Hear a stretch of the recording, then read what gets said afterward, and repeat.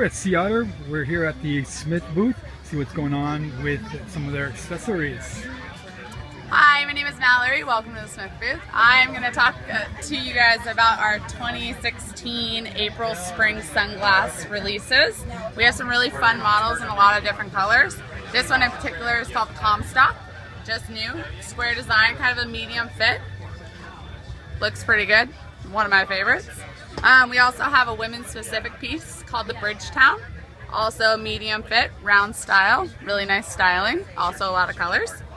And then we have uh, the Founder and the Founder Slim. So two sizes, one's a little bit bigger, one's a little bit smaller. Also super classic, simple design.